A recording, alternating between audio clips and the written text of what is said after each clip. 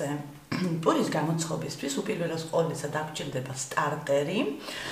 სტარტერი არის აი ისეთი რაღაცა, რომელიც გვიცვლის ჩვენ საფუარს. სტარტერისთვის გვჭირდება ჩვენ დაახლოებით 1 კვირა რომ გამზადდეს და მე მოვიტანე ორი სტარტერი. რაც უფრო ძველია, მით უკეთესია. ეს სტარტერი მაგალითად არის 1 წლის რადგანაც ერთი წლის წინ დავიწყე ამის გამოცხობა, ერთი წლის წინ დავამზადე სტარტერი. აა და აქვს აა როგორ გითხრათ, ვაშლის ძმრის ძალიან სასიამოვნო სუნი. აა შემდგომ კი მეორე სტარტერი, აი ნახეთ, მე მგონი ამაში უფრო ჩანს ეს პატარა ბურთულები. ეს სტარტერი არის 4 დღის და ამ 4 დღის სტარტერის გამოყენება ჯერ ძალიან ადრეა. მე ამას კიდევ დაველოდები, რომ გახდეს ასე ვთქვათ 7 დღის. აი ამის მეშვეობით ჩვენ ვამზადებთ პურს და ჩემი სტარტერი არის გაკეთებული ჭვავის ფქვილზე. თქვენ შეგიძლია აიღოთ თეთრი ხორბლის ფქვილი, რომელიც ძალიან ძლიერია ამ შემთხვევაში, მაგრამ მე არ მიყვარს და არ მინდა თეთრი ფქვილის გამოყენება და რა თქმა უნდა, ვაკეთებ მხოლოდ და მხოლოდ ჭვავის ფქვილის სტარტერს. ახლა როგორ ვაკეთებ სტარტერს? სტარტერისთვის გვჭირდება ჩვენ ჩვეულებრივი ქილა, აი მაგალითად მე ავიღე იოგურტის ქილა მქონდა ესეთი. ავიღე იოგურტის ქილა, ჩავყარე 3 სუფრის კოვზი ფქვილი, ჭვავის ფქვილი და დავამატე ნელთბილი დაახლოებით 40 გრადუსი. თბილი წყალი, სამი სუფრის კოვზი. ანუ კონსისტენციას თქვენ თვითონ მიხვდებით, იმიტომ რომ მე ამას პრინციპში თვალით ვაკეთებ, კონსისტენცია უნდა მომეწონოს და უნდა იყოს ძალიან სქელი არაჟნის კონსისტენცია. ამას დადგამთ მე თბილ ადგილას, ანუ ჩვეულებრივად კარადაში მიდევს მე მაგალითად კარადაში მიდევს და შემდეგ დღეს კიდევ კვებავთ. ანუ ეს არის ცოცხალი და გადის ფერმენტირებას, ასე ვთქვათ. ანუ იმიტომაც არის ეს პური ძალიან ჯანსაღი, რომ ეს არის ცოცხალი პური. მე მგონი ხედავთ ხო, პატარა ბურთულებს, ეს იმას ნიშნავს, რომ ეს კიდევ აგრძელებს, ასე ვთქვათ, თავის ცხოვრებას. და აი ეს 7 დღის განმავლობაში ყოველ დღე ვუმატებთ სამკობს ჭვავის ფქვილს და სამკობს თფილ, ნელთფილ 40 გრადუსზე დაახლოებით წყალს. აი ამას როგორც ხედავთ ახლა არის ეს უკვე როგორც გითხარით 4 დღის და ამასაც აქვს ეს ბურთულები, იმის მანიშნებელი რომ ესეც ცოცხალია და ცოცხლობს, თან გაიზარდა, პატარა იყო. და 7 დღის შემდეგ თქვენი სტარტერი არის მზად. რაც უფრო ძველია სტარტერი, მით უკეთესია, მით უფრო ძლიერია, ასე ვთქვათ. აა მე კიდევ ერთი სტარტერი მაქვს, რომელიც ერთი წლის წინ დავამზადე, მაგრამ გავყინე, შეგიძლიათ აგრეთვე ჩემსავით გაყინოთ საყინულეში და რო დაგჭირდებათ ისე გამოყენება, შეგიძლიათ გამოიღოთ. აა ჩვეულებრივად, ჩვეულებრივ მაცივარში გაალღოთ და ერთი კვირის განმავლობაში გააგრძელოთ მისი კვება, ასე ვთქვათ, იმიტომ რომ ამას საკვები ჭირდება. და გახდება ისევ ჩვეულებრივი. მიაქციეთ ყურადღება, რომ ხანდახან, სხვათა შორის, ერთი-ორი სტარტერი მე გამიფუჭდა, ძალიან მძაფრი მჟავე სუნი ქონდა, მძაფრი მჟავე სუნი არ უნდა ქონდეს. ეს არის აი ძალიან ძალიან სასიამოვნო ვაშლის ძმრის სუნი, აი მართლა ძალიან სასიამოვნო. თუ ძალიან ძაფრი სუნი იქნება და დაობდება, რა თქმა უნდა, უნდა გადააგდოთ და მოიშოროთ. მოკლედ გადავიდეთ ახლა პურზე. დავუშვათ, რომ სტარტერი გააკეთეთ, გავიდა 7 დღე და სტარტერი გაქვთ თქვენ ზად. ხო რა შეეხება ახლა სტარტერის დამზადებას. კიდევ აი ამ სახურავს მე არ ვახურავ ზემოდან აი ასე ვადებ იმისთვის რომ ჰაერი შევიდეს და ფერმენტირება ფერმენტირების პროცესი დაიწყოს ნახეთ როგორი არ ვიცი ჩანს თუ არა ნახეთ როგორი ბურთები აქვს ასე ვთქვათ შიგნით. ანუ ეს იმას ნიშნავს რომ ცოცხალია და სუნთქავს რა დაგჭირდება ახლა ჩვენ ამ პურისთვის? მე ქვევით ჩამო ნათვალს გავაკეთებ რეცეპტს. წინა საღამოს დავამზადე ესეთი სტარტერი. ეს იმას ნიშნავს, რომ ჩვეულებრივი სტარტერისგან ავიღე 3 სუფრის კოვზი, ან მეტი შეგიძლია დაიღოთ. დავამატე აი ამ სტარტერისგან, ამაზე გელაპარაკებით. აი აქედან შეგიძლიათ აიღოთ 3-4 სუფრის კოვსი. აა დავამატე ჭლავის ფქვილი და დავამატე თბილი წყალი 40 გრადუსი და ნახეთ, არ ვიცი რამდენად ჩანს, მაგრამ ესეც არის აბსოლუტურად ცოცხალი, იმიტომ რომ ეს ბუშტები აქვს, ეს იმას ნიშნავს, რომ ცოცხალია. ამისთვის დაგჭირდება 150 გრამი სტარტერი.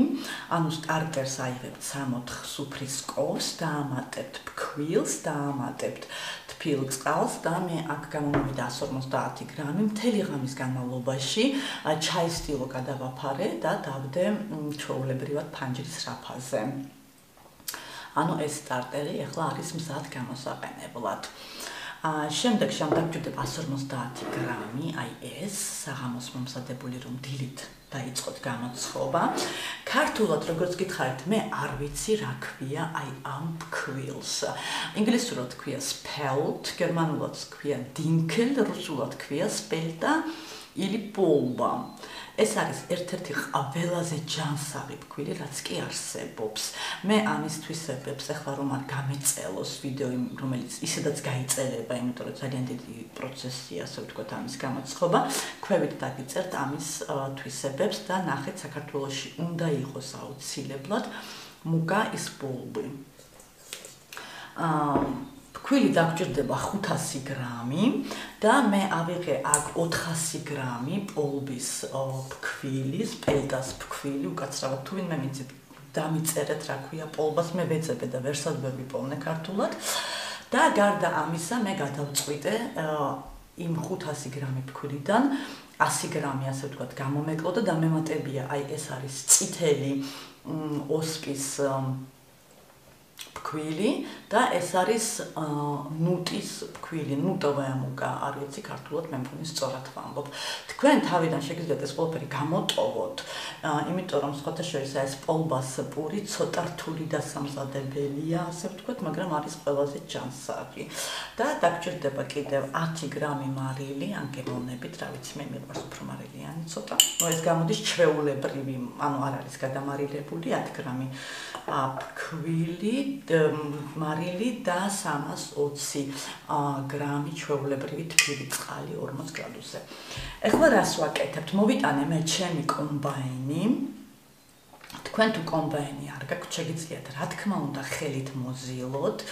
აა მე ამას ვაკეთებ კომბაინით და ვაკეთებ შემდეგ პროცედურას. რას ვაკეთებ ახლა? ახლა მე ჯერ კომბაინზე დავაყენებ აი ამას.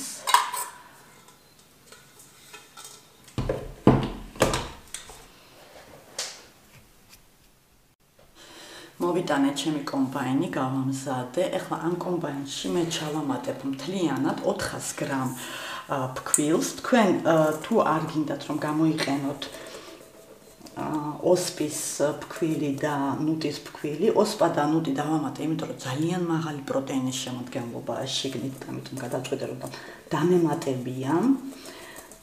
თავიდან შეგიძლიათ გამოტოვოთ და თავიდან მინდა გირჩიოთ, რომ იქნებ დაამზადოთ თეთრი ფქვილისგან, იმიტომ რომ აი ეს ცოტა პრეტენზიულია სხვათა შორის, ეს ფქვილი ყველაზე პრეტენზიულია მათ შორის მე მგონი რაც არსებობს.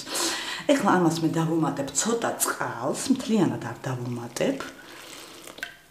აი ნახეთ დაახლოებით, სად არის 300 იყო და ალბათ დაახლოებით 100 მლ დავამატე. ეხლა ჩავრთავ. ამას წესი თავსახურავი მოყვება, მაგრამ არ ვიცი სად არის, მე მგონი სადღაც დავკარგეთ. ცოტა კიდე წყალს დავამატებ. და დაახლოებით 10 წუთი ეს აბურებ ერთმანეთში და მე კიდე 5 წუთი დავაყენებ იმისთვის, რომ აუტოლიზი ქნია ამ პროცესს, რომ ეს აუტოლიზის პროცესი დასრულდეს.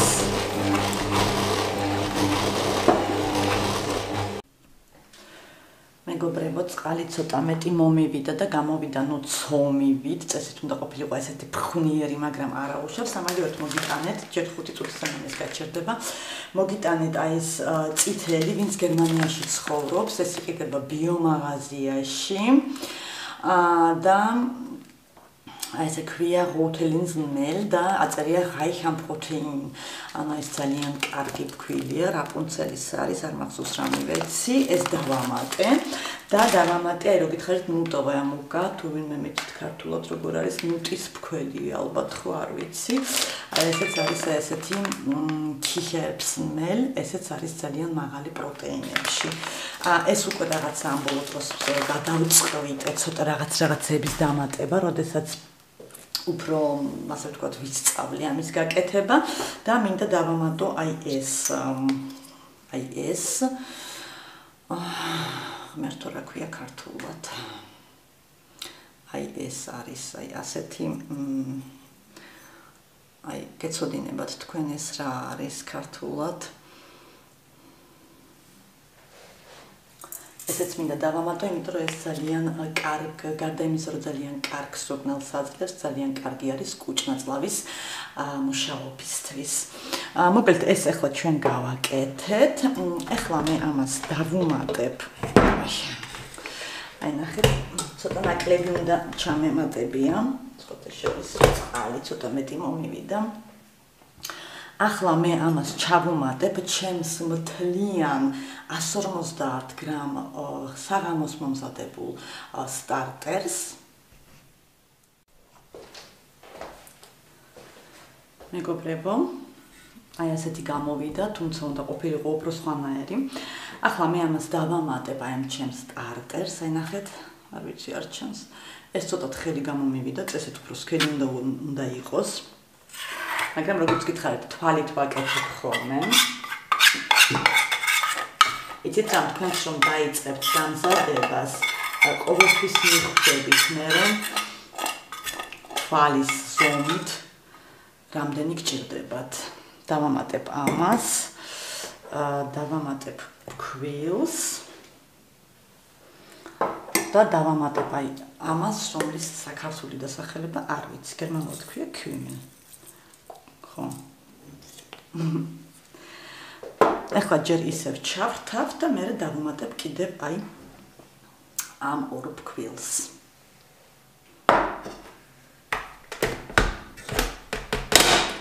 აი მე ხო არ დავთხე.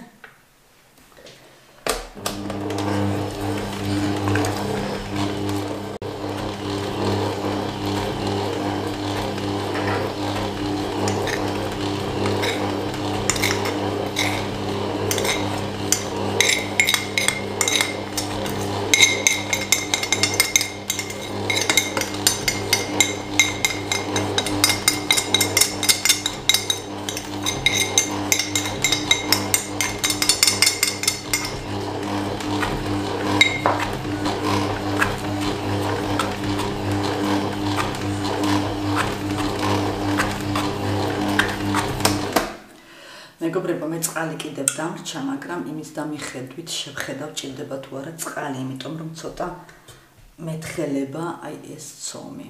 ნახეთ. აი ასე არ უნდა იწებებოდეს წესი. ცოტა უნდა იწებებოდეს, მაგრამ ასე არა. ამიტომ ნახავ დამჭირდება თუ არა წყალი და რატომ იცით? იმიტომ რომ როგორც გითხარით, ჩემი სტარტერი გუშინ რაღაც თვალის ზომაზე არ მომეწონა ის როგორი სისქეც ქონდა და ასე ვთქვა დავუმატე წყალი და თვითონ სტარტერს ქონდა ბევრი წყალი. და ამიტომ შევხედავ. დაჭირდება თუ არა კიდევ წყლის დამატება. და ახლა დაახლოებით 10-15 წუთი. აი ასე. მატრიალოთ ცომი მოვსწროთ ცომი მოიზივა. არის დაახლოებით აი ასეთი კონსისტენციის ну თქვენ თვითონ მიხვდებით. სხვათა შორის ყოველთვის სხვადასხვანაირი გამომდის აი ცოტა იწებება როგორც ხედავთ მაგრამ ეს ნორმალურია. ოდნავ ჩავამატებ ქვირი დაახლოებით ალბათ 20-30 გრამი.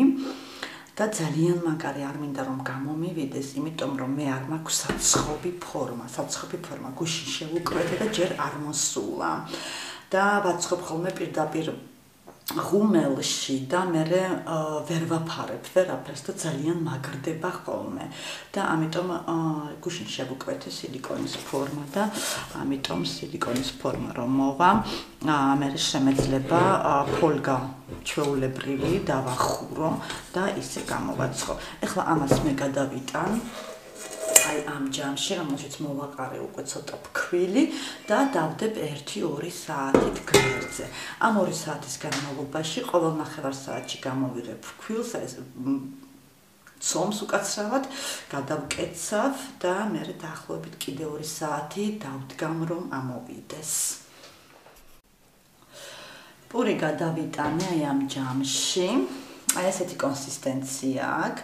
ოდნავ იწებება, ასეც უნდა იყოს, იმიტომ რომ ძალიან მაგარი რომ მე როგორც ვითხარით, ძალიან მაგარი გამოდის.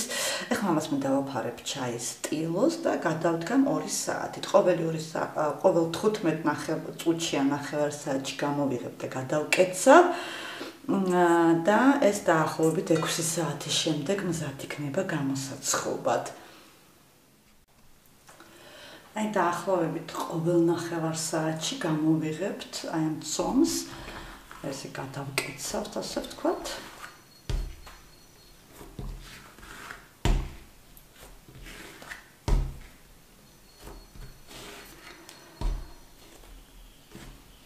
მივცემთ ფორმას ისევ. ჩავდებს ჯამში ახლა უკვე ფულს აღარ ვაკრიზებ, ქვინი ჩამეყარა.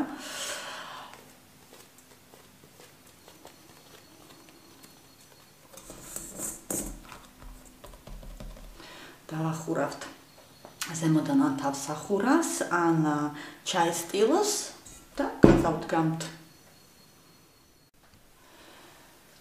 გავიდა დაახლოებით 3 საათი. პური აი ასე ამოვიდა, არ ვიცი ახლა თქვენ რამდენად ხედავთ ამას. აა პური ამოვიდა და ახლა ვფიქრობ კიდევ ერთხელ ხომ არ ჩავზილო, თუ პირდაპირ გადავიტანო, გავაცხელო ღუმელი და დავიწყო უკვე გამოცხობა. ალბათ მე კიდევ ერთხელ ჩავზევ ახლა ამას ყველაფერს, დაველოდები კიდევ 1-2 საათი და მე გავაცხელებ ღუმელს 230 გრადუსზე და შედგამ გამოსაცხობად. აი ასეთი გამოვიდა საბოლოო ჯამში, ესე ამოვიდა, არ ვიცი როგორ ჩანს. მაგრამ ამოსული არის, როგორც ხედავთ. ახლა გავაკეთებ შემდეგ რაღაცას. აა პირველ რიგში ესე გავჭრი შუაში საკმაოდ ღრმად. ამისთვის არსებობს სპეციალური მოწყობილობები სხვათა შორის, მაგრამ მე არ მიყიდია არანაირი სპეციალური მოწყობილობა იმისთვის, რომ ახლა ეს მეჭრა. აა დავასხამა ესე პულვერიზატორიდან წყალს. და დღეს მეგობრებო, მექნება პრემიერა. რადგანაც მე არ მაქვს პურის გამოსაცხობის ფორმა, რომელსაც უნდა დავახურო პირველი 20 წუთი. გადავწყვიტე რომ დავახურო ეს ჯამი პირველი 20 წუთის განმავლობაში. და ეხლა აი ეს სეზამი არის. აი მას დავაყრი. ზედმეტებს მოვაშორებ რომ არ დაიწვას. ცოტა ესე ერთ მხარეს დავაყრე სეზამს და მეორე მხარეს ჩვეულებრივ ესეთ მზეს უმზირას. გემრიელიცაა და მომრიც არის უფრო. ახლა ზედმეტებს მოვაშორებ. კამერის იქეთ. მე აი ამ ჯამს დავახურავ და 230 გრადუსზე უკვე გაცხელებულ ღუმელში შედგა 20 წუთით. მე ჯამს ავიღებ და გავაგრძელებ კიდე დაახლოებით ნახევარი საათის განმავლობაში 190 გრადუსზე პურის გამოცხობას. აი ასე მეგობრებო შევდგი 20 წუთით. აი აქ მიჩვენებს და 18 წუთი. სხვათა შორის ახლა ძალიან მაინტერესებს აი ეს ცხელი რო იქნება იმას როგორ მოხსნი. ამაზე არ ვიფიქრე. ყოველ შემთხვევაში შეკვეთილი მაქვს უკვე ფორმა და ფორმას არ მოყვება სამწუხაროდ.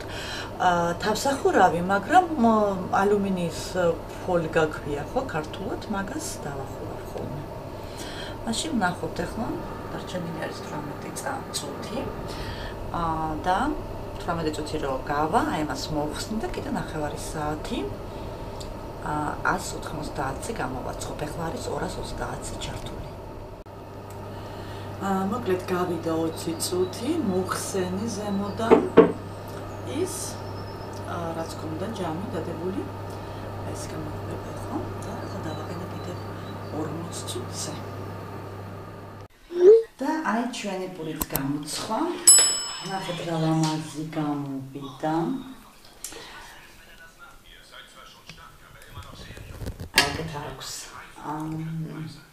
ზესუმზირა აქეთ მხარეს აქვს სეზამი. გუშინდელი გამომცხარი პური ზუსტად ამხელა დღეს უკვე აღარ გვაქვს. აი ეს ბოლონაჯერი დარჩა აქეთ ახლა ლიზი სადილობს. აი ეს ამაში მქონდა კიდე ზესუმზირა შიგნით დამატებული დღეს აღარ დამემატებია აი ეს ერთი ნაჯერი დარჩა გუშინდელიდან. და აი ასეთი გამოვიდა ჩვენი პური აბა გისურვებთ ახლა კარგ აპეტიტს და გამოაცხოთ აუცილებლად აი ესეთი ჯამრთელი გემრიელი პური. იცით რა სურნელი აქვს? ძალიან გემრიელია. ლიზიკო რაღაც მულტფილმს უყურებს და